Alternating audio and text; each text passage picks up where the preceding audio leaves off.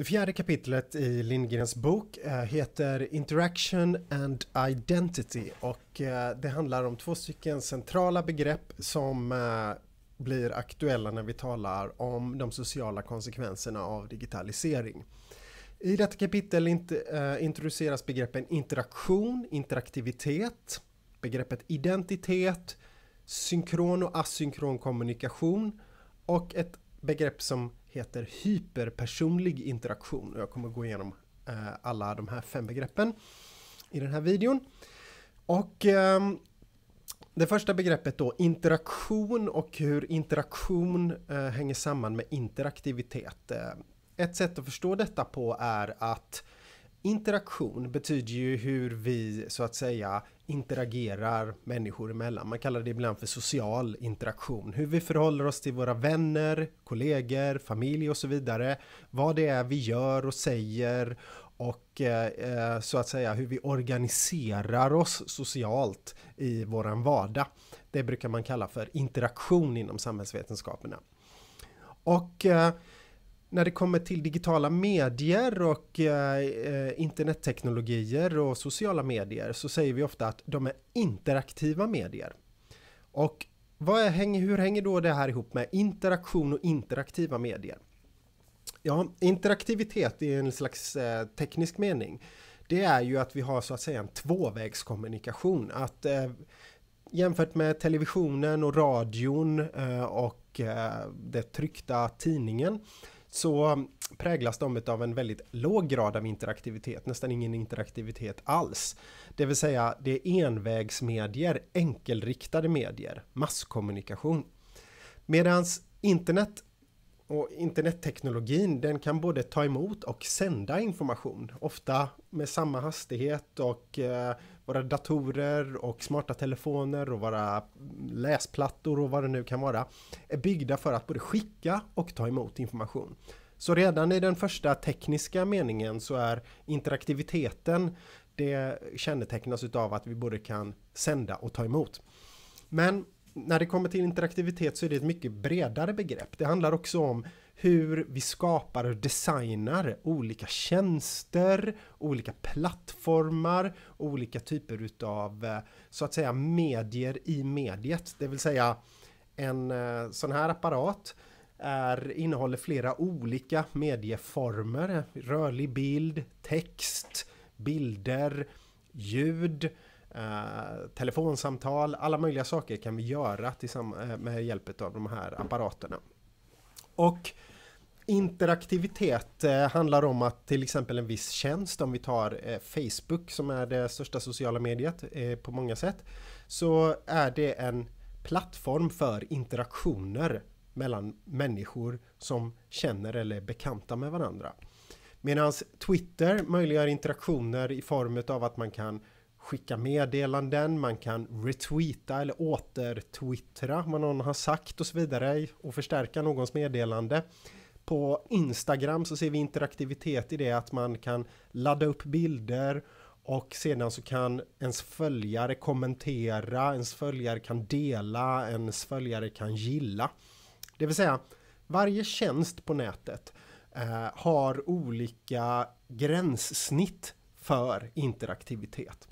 Och hur hänger då det här samman med den sociala interaktionen? Det som vi har gjort eh, sedan tidernas begynnelse, så eh, när vi har börjat eh, leva i flockar och så vidare som eh, människor. Jo, interaktiviteten i våra nya medier har omskapat sättet som vi interagerar på. På många olika sätt här är väldigt enkelt att bara relatera till sitt eget liv och hur man använder sig av de här eh, medierna. När man vaknar på morgonen, vad gör man då? Hur använder man sin smarta telefon? Hur använder man sin dator under en arbetsdag? Hur använder man sig av alla dessa teknologier i sitt vardagsliv? Vad är det man gör? Och vem interagerar man med? Eh, skickar man meddelanden till sina vänner, till, till sin släkt, eh, sina, sin familj och så vidare? Hur använder man det i arbetsvardagen? Mailar man sina kollegor fram och tillbaka eller använder man sig av olika andra typer av arbetsplattformar eh, och, och så vidare? Allting detta skapar interaktioner mellan människor med hjälp av de interaktiva medierna. Och de interaktiva medierna, det vill säga teknikutvecklingen, förändras mycket snabbt. Eh, och eh, bara för tio år sedan så var en sån här smart telefon och eh, som är en dator någonting som inte var varje människas egendom direkt.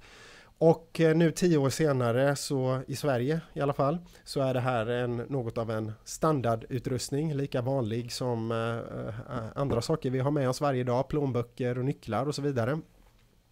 Och det vill säga de här nya interaktionsytorna och interaktionsgränssnitten har gjort att vi kan delvis ta våra gamla sociala relationer. Eh, det är inte så att eh, mina vänner nödvändigtvis har förändrats jättemycket de senaste tio åren eller eh, min familj eller mina kollegor och så vidare.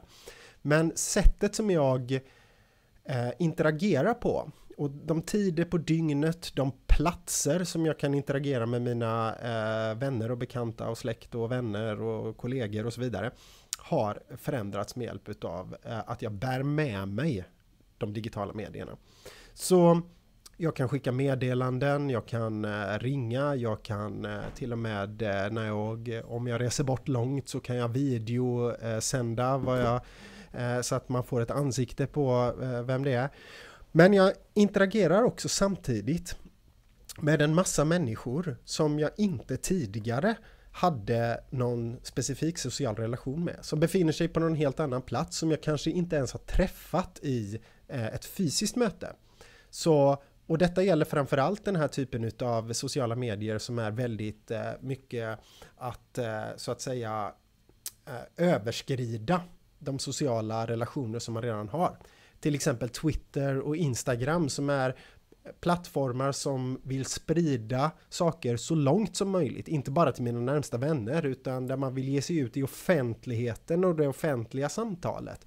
Så med Twitter-meddelande kan jag nå helt plötsligt flera hundra eller flera tusen eh, läsare som jag aldrig har träffat eller som eh, bara eh, är där ute och jag inte har någon direkt relation till. Men jag skapar en relation tack vare den här typen av interaktiva eh, medier helt enkelt. Och interaktion och interaktiviteten och sättet som det förändras på i de sociala medierna. Det får konsekven konsekvenser för det man kallar för ens identitet eller självidentitet. Det vill säga hur vi ser på oss själva och hur vi tänker om oss själva. För eh, i och med att vi får de här olika nya ytorna som vi kan interagera med människor på Ibland är det samma människor som vi alltid har interagerat med, våra vänner och familj och så vidare. Men ibland så är det här helt nya människor. Människor som vi inte har träffat, människor som är främlingar i någon mening för oss. Eh, men tack vare de här nya medierna så kan vi skapa relationer som sakta men säkert också utvecklas och stabiliseras och eh, jag har vänner som på, på internet, internetvänner helt enkelt, som kan vara väldigt viktiga för mig. Men också för vem jag är och hur jag ser på mig själv. För vi har alltid så att säga eh, olika identiteter eller spelar olika sociala roller i olika sammanhang. Man är en annan människa hemma i sin familj med sina nära och kära än vad man är kanske när man är på sin arbetsplats. Då eh, är vissa saker eh, viktiga och andra saker är mindre viktiga. Eller när man går på gatan eller besöker en biograf eller går på operan eller vad man nu gör.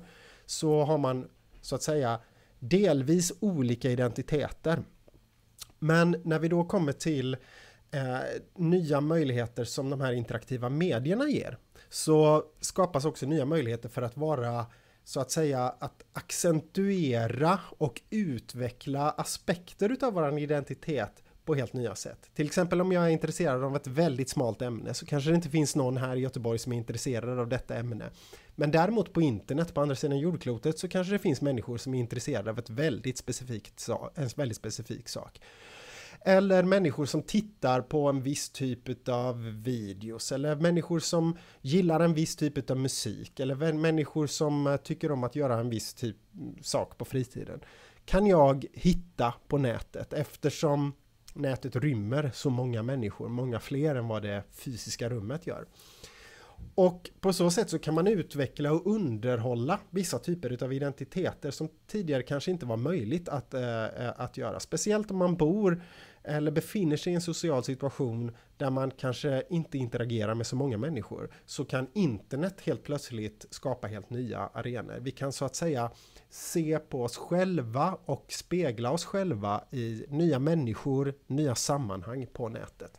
Så Många har då betonat inom forskningen om eh, identitet och självidentitet och hur man ser på sig själv i relation till internet på att, att se hur saker och ting kan så att säga expandera och nya identiteter till och med kan uppstå på nätet. Eh, olika nätkulturer som, som så att säga inte riktigt hade varit möjliga på andra sätt än att många människor kan koppla ihop sig och att man kan skapa alla dessa sub communities eller subgemenskaper, undergemenskaper på nätet. Och eh, så som man började tänka och teoretisera kring de här frågorna på 90-talet så gick det ganska mycket i linje med att det som händer på nätet är en slags simulation. Det vill säga eh, I de tidiga sociala medierna som uppstod på olika internetforum, olika chatt, eh, chattrum och så vidare på nätet så var det nästan det vanliga sättet att presentera sig själv var att göra det med en pseudonym eller ett handle eller ett nickname. Eh, kärt barn har många namn. Men att man så att säga fabricerade eller skapade en identitet som var ganska frikopplad från den identitet man hade på andra sidan skärmen om man säger så. Så man hittade på ett fik fiktivt namn och man kanske hade en, så att säga, en, en helt ny berättelse om sig själv där man kunde stiga in i de här nya sammanhangen och vara någon annan. Det så mycket tänkte man väldigt mycket om så att säga identitetsskapande på nätet på 90-talet. Men mer och mer så börjar man inom forskningen se hur så att säga online-identiteter eller nätidentiteter på många sätt står i en slags dialog med och i en viss form av samklang med eh, våra andra identiteter. Så eh, Dels så har de sociala medierna ändrats ganska mycket eh, på 2000-talet så framförallt genom Facebook och många andra utav de stora medierna så använder man sina riktiga namn. Det är inte så att man hittar på en identitet nödvändigtvis som är, har ett helt nytt namn och en helt ny personlighet och så vidare. Utan ofta så använder man sig av de sociala medierna som en slags eh, projektionsyta eller som en delvis som en spegel utav den människa som man är i en massa andra sammanhang. Eftersom medierna nu för tiden så att säga har blivit så så intimt förknippade med våra vardagsliv så att vi till och med går omkring med våra telefoner, vi till och med sover med våra telefoner eh, påslagna. Så det som så att säga händer här är att eh, eh, identitet och identitetsformering förändras med de interaktiva medierna men samtidigt så kan man inte säga att det är en simulation eller att man går in i en helt ny verklighet eftersom det alltid återspeglar ens andra identiteter och eh, sättet som man är på i andra sammanhang. Någonting som också skapar en annan dimension i detta eh, är eh, begreppen synkron och asynkron kommunikation. Så det som eh, händer i den fysiska världen när vi möter någon eh, på stan eller när man eh, är hemma och pratar med sina familjemedlemmar. Då sysslar man nästan alltid med synkron kommunikation. Det vill säga i tiden så, så att säga utspelar sig i realtid. Jag säger någonting och jag får ett svar och vi befinner oss i samma tids, tidslighet om man säger så. Men på internet så är det väldigt vanligt att eh, medierna är asynkrona. Så fungerar Facebook, Twitter, de stora eh, sociala medieplattformarna, så fungerar de flesta forum. Det vill säga att man skriver eller gör ett inlägg eller laddar upp en bild och sedan så kan svaret eller den som läser bilden och den som eh, eller läser inlägget och kanske svarar på det kan göra det på en helt annan tidpunkt. Det kan gå en sekund, det kan gå en minut, det kan gå en dag eller vissa eh, saker när det kommer till ännu långsammare medier som bloggar till exempel eller Youtube-videos så kan kommentarer komma ett halvår senare. Det vill säga kommunikationen och interaktionsytan är asynkron. Eh, de följer inte på varandra i samma tidsflöde utan det styckas upp och eh, saker och ting kommer efter varandra eh, eh delvis i ett eh, större tidsperspektiv helt enkelt. Och eh, det är någonting som är dels möjliggör för ett inlägg att kunna läsas och ses av väldigt många människor. Det gör också det möjligt att skapa konversationer som spänner över längre tidshorisonter än det där samtalet som man har ansikte mot ansikte. Så asynkron kommunikation är någonting som också förändrar sättet som vi interagerar med varandra på nätet. Det sista begreppet i det här kapitlet är begreppet hyperpersonlig interaktion och det är ett begrepp som betyder att i och med att de sociala medierna och de digitala medierna Eh, på många sätt begränsas. Eh, vi är, eh, kan antingen kommunicera i text eller video eller bild och så vidare. Men det så att säga tar bort ganska mycket av den här mera subtila och ehm, så att säga subtila formen av kommunikation som vi kan få i ansikte mot ansikte. Ansikte mot ansikte skapar en väldigt intim relation mellan två människor. Eh, där man kan avläsa kroppsspråk, man kan avläsa tonfall och så vidare. Medan många sociala medier är textbaserade eller bildbaserade och på så sätt skalar av eh, eh information från eh, det, det man säger eller gör eller tycker eller tänker. Detta skapar eh, ofta hyperpersonliga meddelanden, det vill säga man överdriver och accentuerar sina känslolägen. Man eh, skriver fram olika saker, aspekter, sina åsikter, sina tankar i eh, och, och gör dem starkare, mera accentuerade för att så att säga eh, Eh, när man eh, kommunicerar dem med hjälp av sociala medier. Vilket skapar kanske sådana här saker då som att vissa typer av känslolägen överdrivs. Vi talar ibland om näthat eller nätkärlek eller eufori uttrycks i mycket större versaler, uttrycks med en mycket större kraft eh, på nätet än vad det behöver göra i det fysiska mötet. I det fysiska mötet så kan man Eh, Eh, så att säga uppleva nyanser och aspekter utav eh, känslolägen, stämningar och så vidare som man kan uppfatta eh, i en slags multimodal, multimedial situation som våran så att säga fysiska interaktion sker med. Och på nätet så tvingas man ganska stor utsträckning att överdriva och betona och accentuera saker som då ibland leder till att Eh, Eh, diskussioner och konversationer går överstyr, människor uttrycker sig kanske på sätt som de ångrar senare, eh, människor kanske ibland bryter barriären mellan vad som är privat och offentligt, det vill säga någon gång så kanske jag berättar alldeles för mycket om mig själv och som jag sedan då kanske tycker att jag känner mig obekväm med att jag har öppnat upp mig för mycket och jag vet inte exakt vem det är på andra sidan som uh, har tagit del av detta och så vidare. Så och detta är det som är så intressant med medierad kommunikation, att det delvis återspeglar de relationer och interaktioner som vi har i våra eh, så att säga analoga liv eller i våra fysiska liv och delvis förändrar och skapar nya interaktionsformer.